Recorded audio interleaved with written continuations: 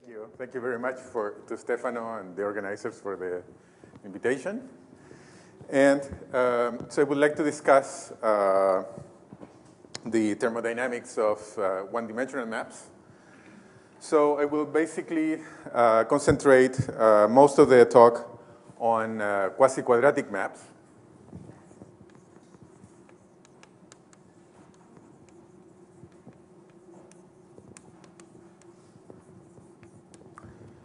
Uh, so these are maps which are, say, smooth with a generic critical point, a unique generic critical point of this form. I will assume is C infinity to simplify most of the time.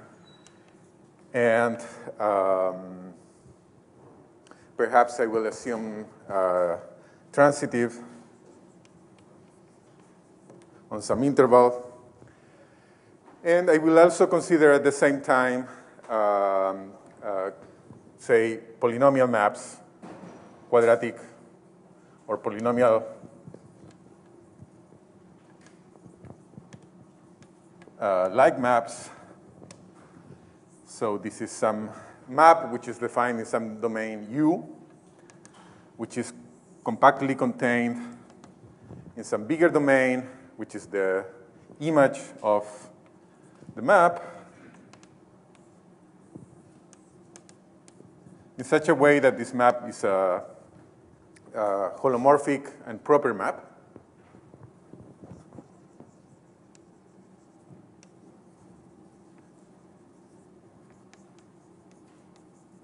and proper, and uh, I will assume mainly for simplicity that there is a unique critical point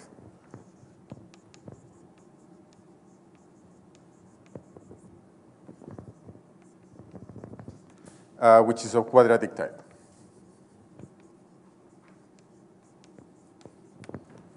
So uh, this is the class of maps I would like to discuss. Both, I will discuss both at the same time. Just refer to them as quasi-quadratic maps. And um, so I want to discuss the thermodynamic formalism. So this geometric pressure function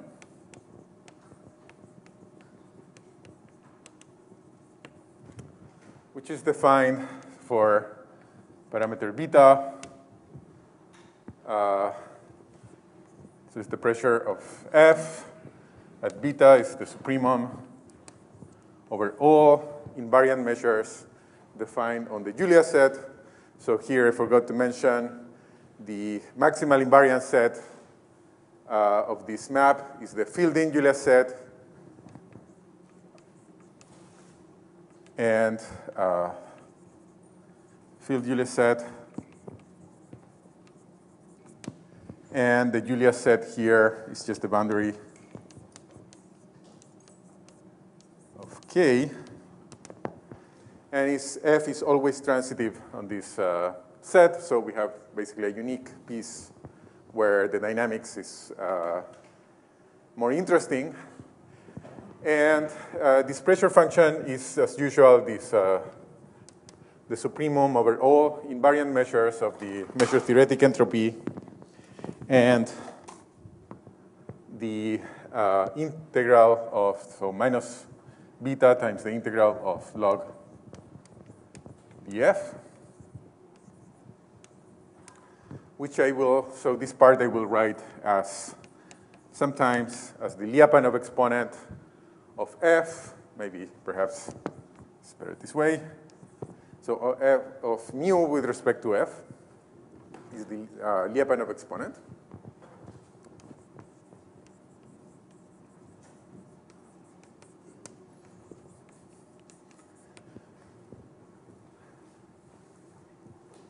And uh, I measure mu is a, an equilibrium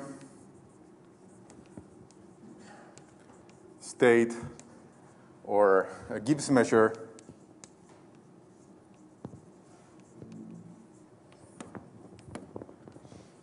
if uh, the supremum is attained.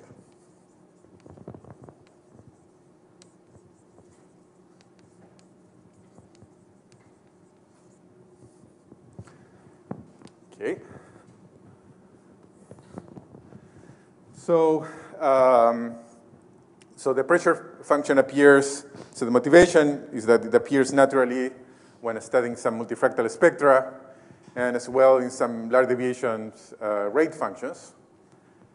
Um, so I want to discuss the uh, properties of this, uh, of this pressure function. And there is this theorem that Felix mentioned this morning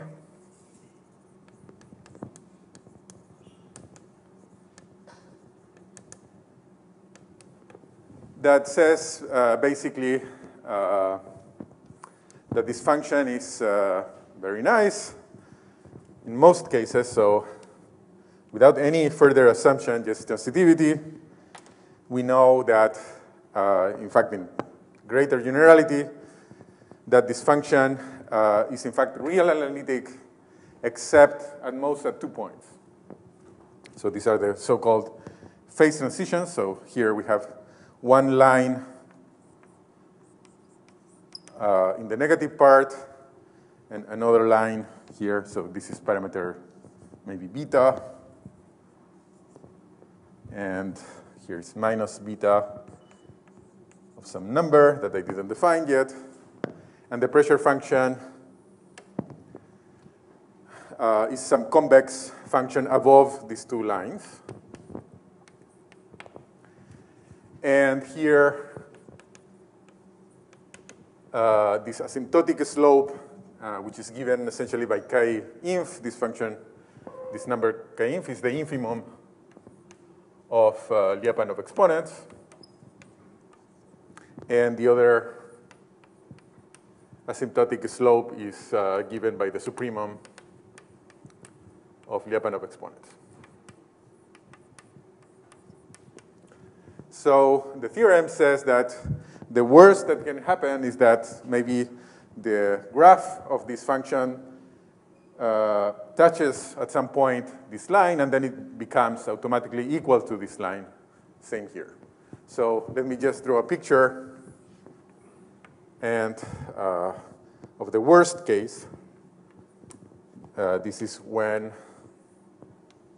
there is some parameter beta minus, some parameter beta plus, and outside this uh, in, uh, interval in the middle, the function is just linear. It coincides with the two, these two slopes. And in between is real analytic. So P of f is uh, real analytic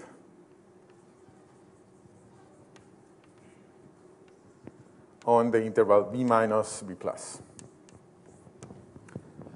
But in fact, uh, it's more than that. So what's really going on is that um, for each beta in here, there is actually a unique, so there is a pretty good understanding of, of uh, uh, equilibrium states, Gibbs measures. There is a unique equilibrium state. It depends holomorphically on beta, uh, blah, blah, blah.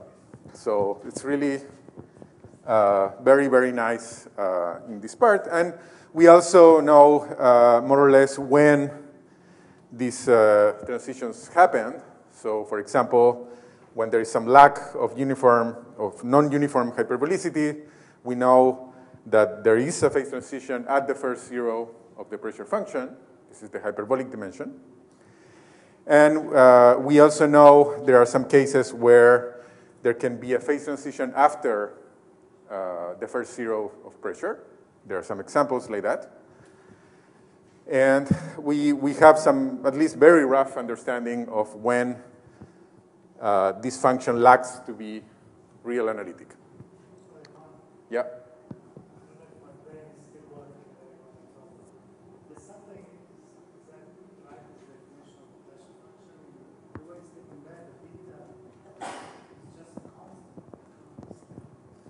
Yeah, so beta is fixed. And for each beta, you take the supremum over all measures of this uh, number.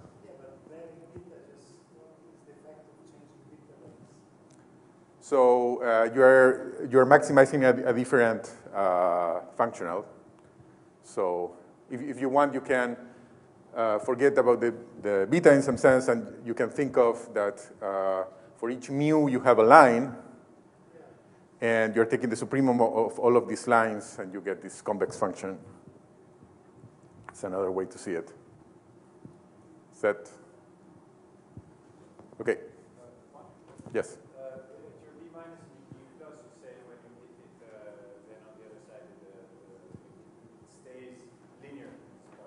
Right. Uh, is it possible to have something like this where you don't have a line, uh, for instance, the line minus beta x sub? Yeah. Going to the origin? Do those both lines have necessary to the origin?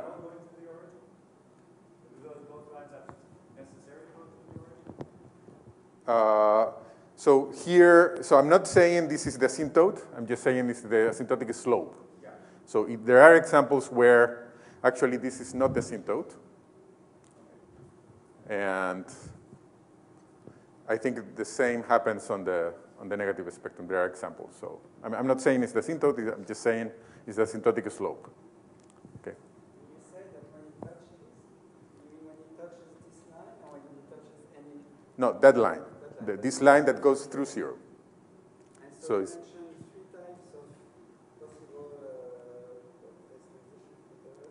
Yeah. Right.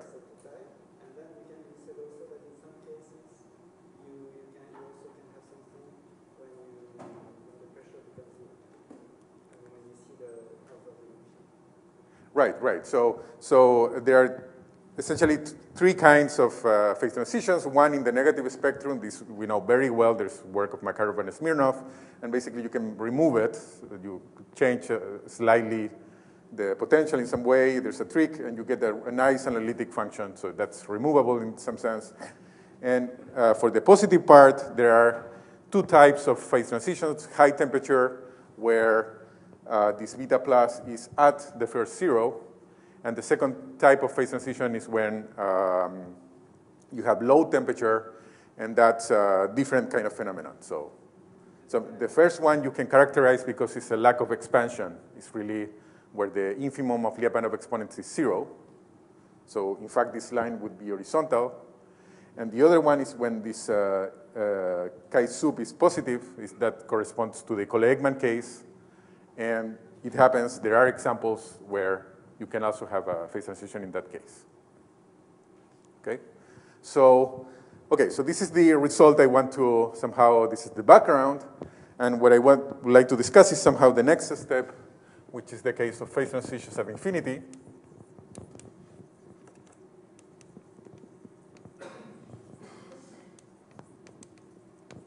So from now on, I'm, I will assume there are no phase transitions in the, in the positive spectrum.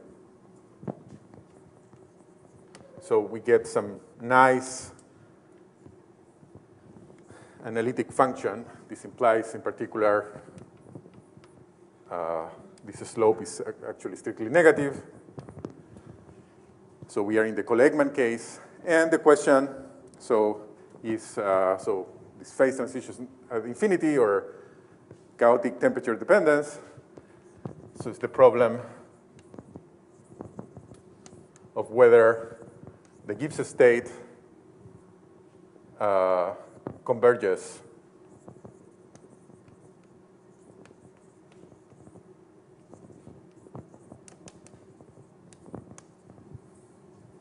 So that's the problem I want to discuss today.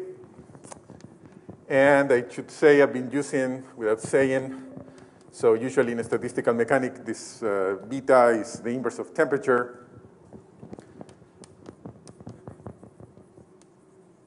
So of course here, it doesn't mean anything, it's just a formalism.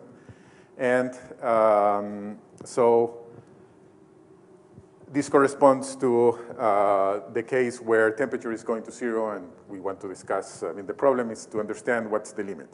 So of course it would be very nice to um, know that we have a limit because the limit measure would be an approximation for the low temperature Gibbs, uh, Gibbs measures, right? So that would be uh, very nice. And um, so before going to the results, the, the known results, uh, there is a, a, very important remark. So observations.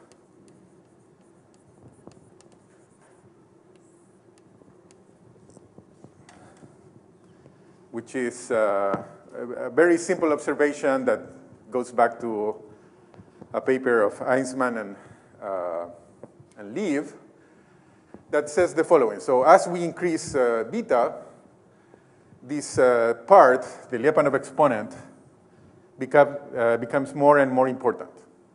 So somehow Gibbs measures will tend to concentrate on measures that minimize Lyapunov exponents. Okay?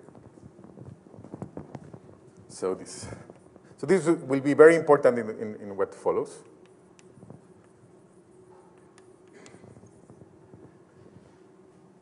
Uh, okay, so any limit measure, so any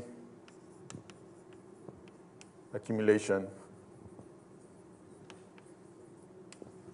of mu beta minimizes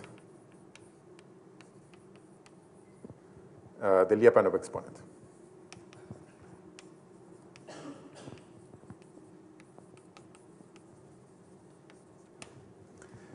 And also, uh, there is a second remark.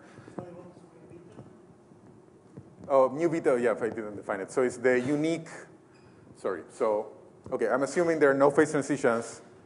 And this implies that for every beta positive, there is a unique, let me write it this way, there's a unique uh, Gibbs measure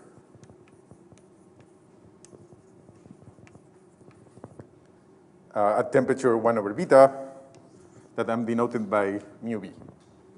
So it's the, it's the Gibbs measure at beta, and we, the problem is to understand what's the behavior of this measure uh, when beta goes to infinity. Okay, that's somehow the last uh, type of pathology that uh, could happen. Okay, so uh, any accumulation point so this is a very important remark. So any accumulation points of these Gibbs measures will be uh, Lyapunov minimizing measure. And uh, more than that, so if we look at this graph, I mean, you can, well, more, more or less uh, understand that once we know that it minimizes, this term is the same, so it's the minimal uh, measure. Moreover, you can say that among those that minimize the Lyapunov exponent, the limit measures will tend to favor uh, higher entropy. So limits uh, also maximize entropy among those that minimize the Lyapunov exponent. Minimize over all probability measures. Right. Or all invariant probability measures, yes. And moreover, maximizes entropy among Lyapunov uh, uh, minimizing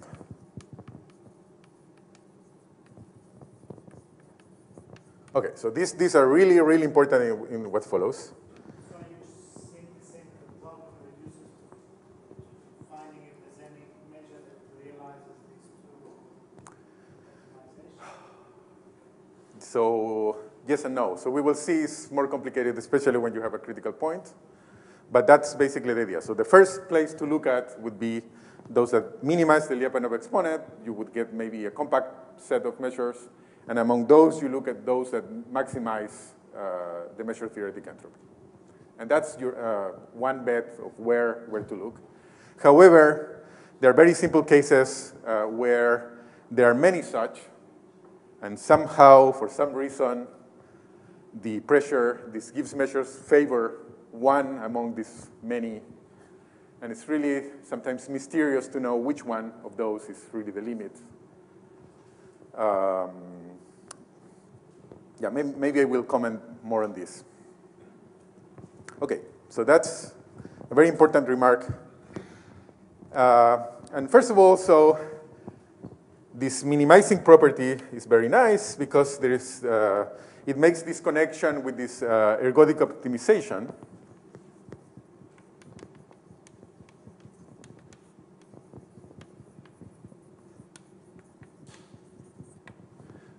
which is uh, setting where you fix some function and you try to maximize the integral among all invariant measures. And there is a sequence of articles going to infinity that uh, deal with this problem. So there's a lot of things going on. And uh, so what I want to do is to extract some of those results that are known for the symbolic case to deduce some, some results uh, for the smooth case here. So maybe I will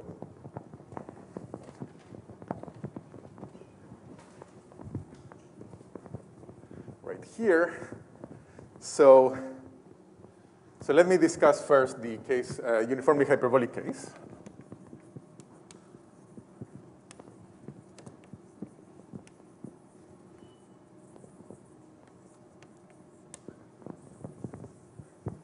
And actually, we'll just restrict to uh, uh, sorry, to uniform expanding maps of the circle, just to simplify the discussion.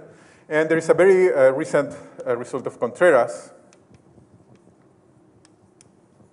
that if you combine with a very well-known trick, so Contreras' result is on a symbolic setting, and there is this trick to uh, sometimes you can pick a function, so there's no derivative here, and they, he just considers any function, and there's this trick to realize any Holder continuous function as the derivative of an expanding map. So if you do this, you can take this very nice uh, theorem of Contreras, and you get this result uh, that says uh, that for a generic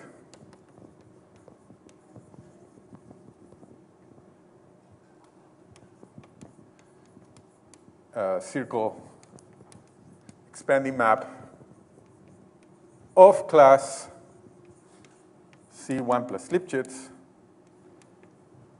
uh, these Gibbs measures actually converge to a periodic measure.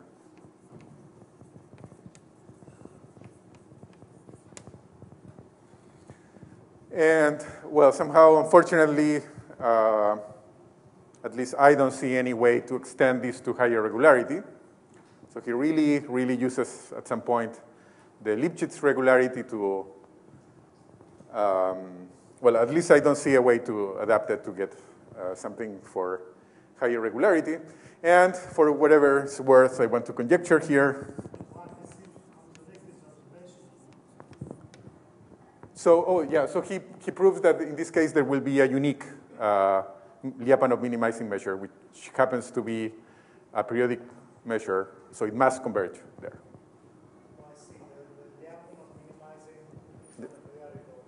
Right, and, there is the, and that's the only one, so entropy zero, right? Sorry? Oh, just uh, an equidistributed measure on a periodic orbit. Okay. Okay, so conjecture for hunch, whatever. So I would like to uh, see what happens in the analytic case and maybe, so let me say that for, so it's a conjecture, so I can say whatever I want. So for a real analytic, uh, circle expanding map,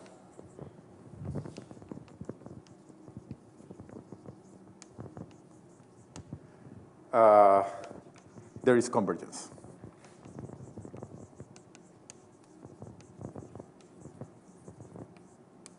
There is only vague evidence. I will say it very quickly for those that know. So first, there is this uh, very beautiful result of Raymond in the symbolic case where he shows that if you have any potential that has finite image, so it only takes a finite number of values, then uh, you automatically have uh, convergence. And uh, the proof uh, uses, uh, his original proof is based on some sub-analytic uh, machinery.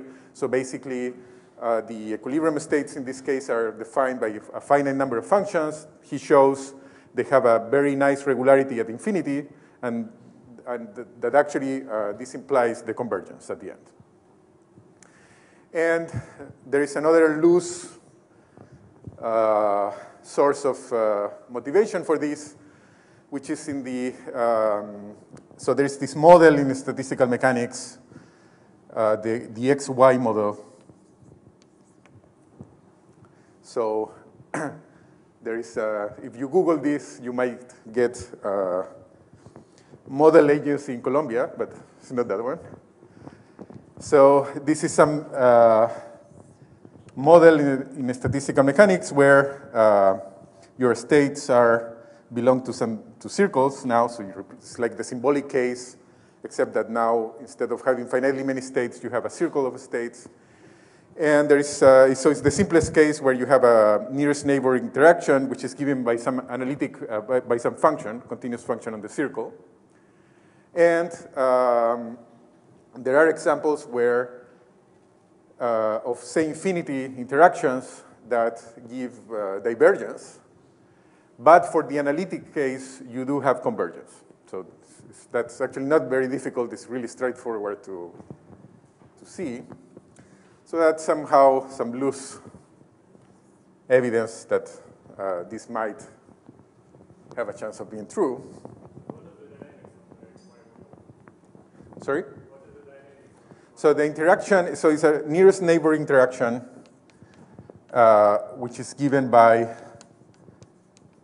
some, uh, so symmetric. So you pick some function u on, S, uh, on S1, and you evaluate on the difference.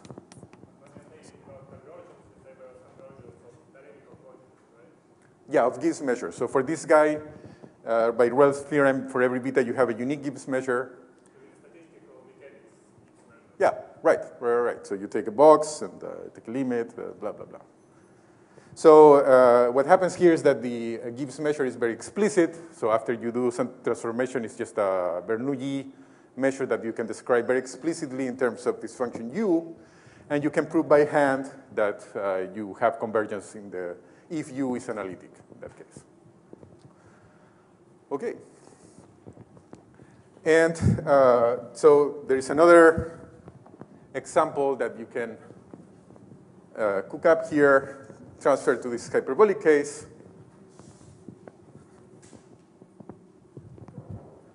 So there's this example by Chazottes and Hochman. So in the symbolic case, they uh, found some Lipschitz uh, function, some Lipschitz potential, so that um, you do have divergence in this case. So there is a phase transition at infinity. And um, so they did a very concrete potential where basically they constructed some uh, shift, subshift, uh, very explicitly, and they took just the minus the distance function to, to that, and you, uh, by doing some calculations, you can more or less estimate the Gibbs measures, and you can prove by hand they, they oscillate. Now, there is a simpler uh, example uh, that was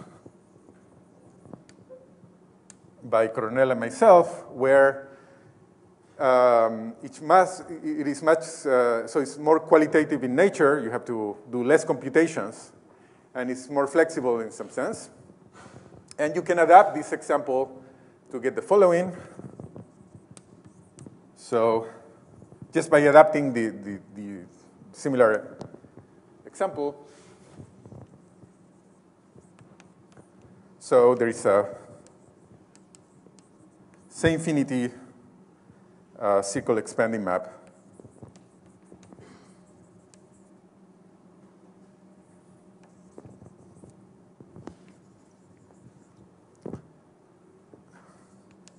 So that you have divergence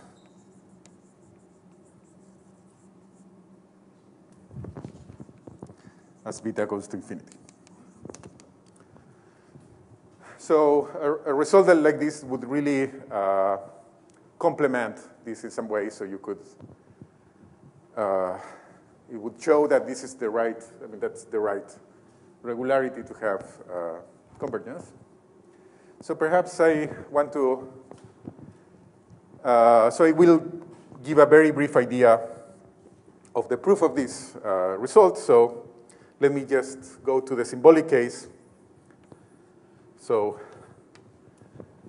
so the idea is just to use this uh, Aizenman-Lieb uh, observation as follows.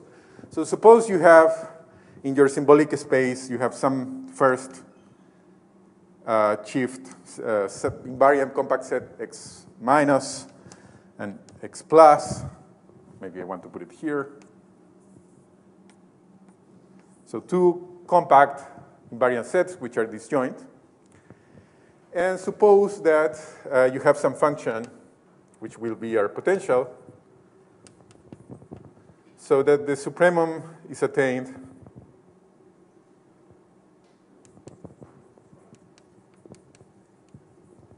So it attains its supremum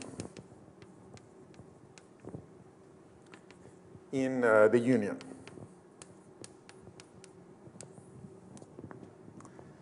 So uh, this principle would say that all of the limit measures will be supported in the union of x minus and x plus, right? But in fact, there's this second part that says that Actually, if, it, if we would have that the topological entropy of one is bigger than the other,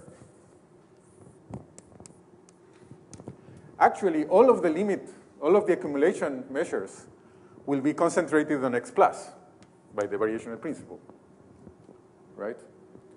So and uh, we could revert this very easily. So now if we take a compact invariant set, say x1 minus, contained in x0 uh, minus, and we take x1 plus contained in x0 plus, uh, and we add, say, indicator functions, so maybe we're careful and put this uh, closed open set.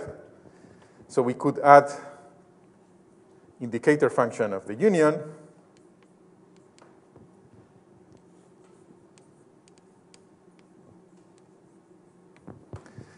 So by just adding a very small proportion of the indicator function, we will know that in fact the accumulation points will all be contained in the smaller sets.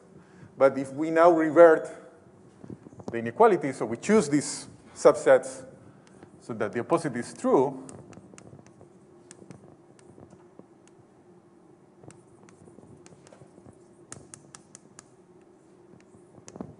So now, uh, as soon as we change epsilon from zero to anything positive, we know that the uh, equilibrium measures will be supported on the other part. So they will be supported now on the minus part. So in this way, if we take epsilon very, very small, for a long time they will be close to the plus part because they will tend to follow the higher entropy that is here. And as soon as uh, the epsilon gets more weight, as temperature goes to zero, they will be concentrated on, this, uh, on the negative part. So in this way, you can shift the low temperature Gibbs measures from one side to the other and if we repeat infinite, this infinitely many times, you can actually get uh, some measure that, some potential that will oscillate between these two, uh, these two sides, and you get divergence at the end. Okay. But actually, I think there is a better uh, way to describe what's going on. So and that's uh, in the title of my the talk, there's in fact this uh, sensitive dependence that you can more or less feel here. So it's sensitive dependence.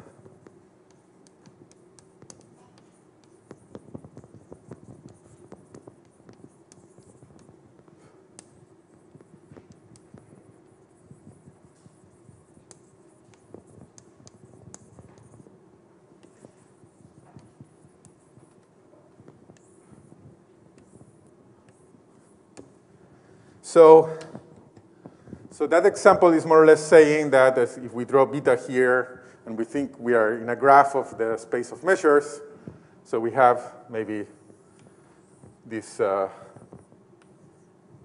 Gibbs measures that are oscillating. But in fact, what, something that describes this better is that uh, by a very small perturbation here, so as soon as you take any positive epsilon, you can uh, have a very drastic change on the behavior of the low temperature Gibbs measure. So that's really the, the, what's going on here. So by a very, by perturbing slightly the, um, the potential or the map, you can get a significant change in the behavior of the uh, Gibbs measures. Uh, and it's very much like uh, the notion we have in uh, dynamics, where you have a very a small change in the initial condition can have a big effect at the end. So let me state uh, this uh, in a more precise way. So actually, we, we get the following.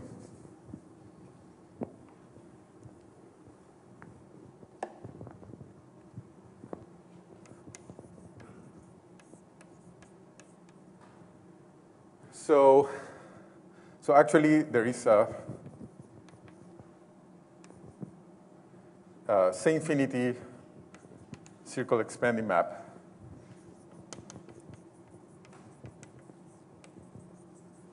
If not, so that the following happens. So if you choose any sequence of temperatures going to infinity,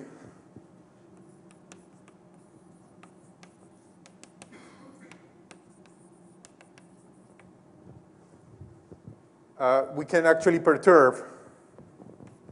There's a small perturbation.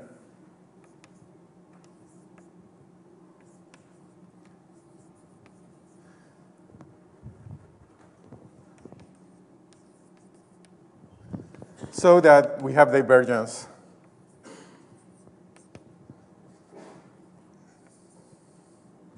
So these are the Gibbs measures for the perturbed map.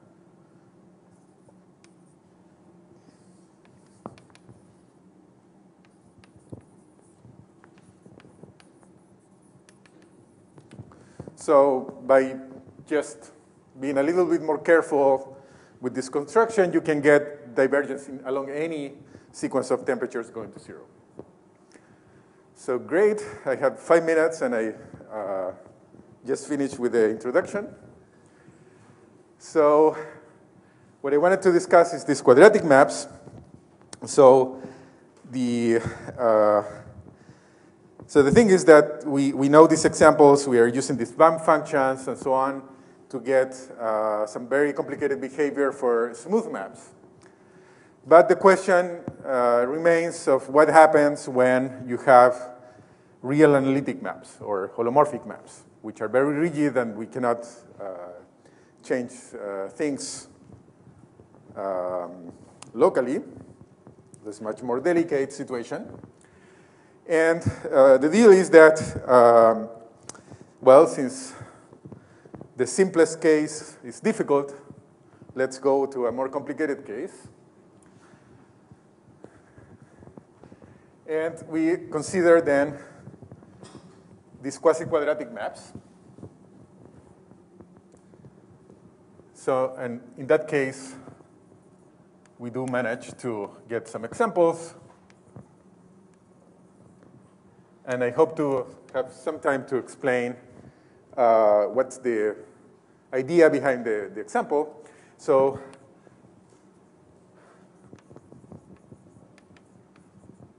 So there is a real analytic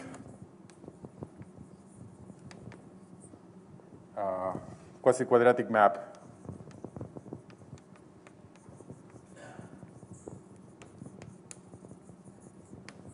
zero having uh, sensitive dependence of Gibbs measures.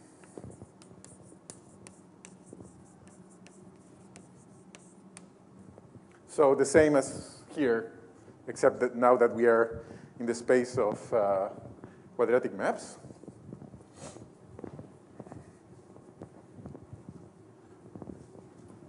So I will finish by explaining what's the idea and maybe comparing these two, these two results, the circle expanding case with smooth maps and these quadratic maps.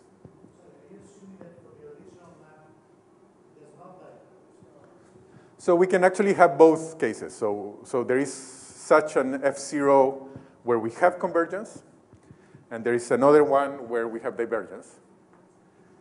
But uh, what, it, what this is saying is that by, if you prescribe any sequence of temperatures going to zero, uh, by perturbing the map with a, a relatively small perturbation, you can get divergence along that sequence. So it's really very sensitive on the behavior is really sensitive on the map itself.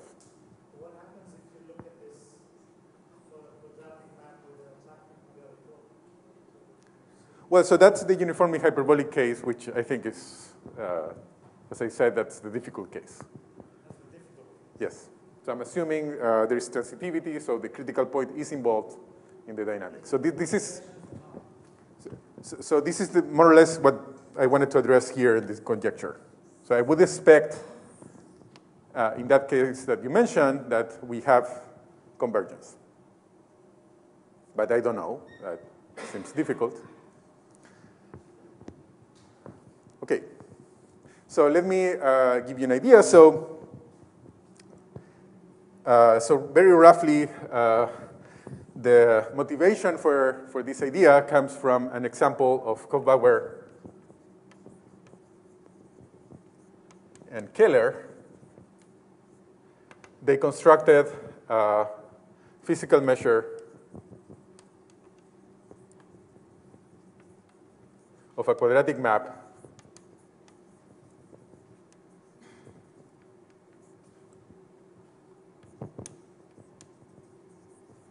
uh, which is supported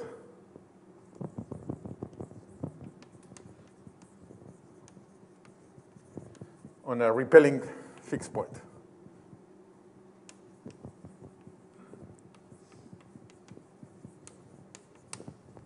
So heuristically, at least, uh, you have uh, the following uh, idea. So they, they somehow managed to show that to construct a quadratic map that uh, in such a way that most of the mass follows the orbit of the critical point, and um, they uh, ensure that most of the time the critical point is near a repelling fixed point. So it will land very close to the uh, repelling fixed point and will spend a lot of time trying to get out of it to only return afterwards and so on.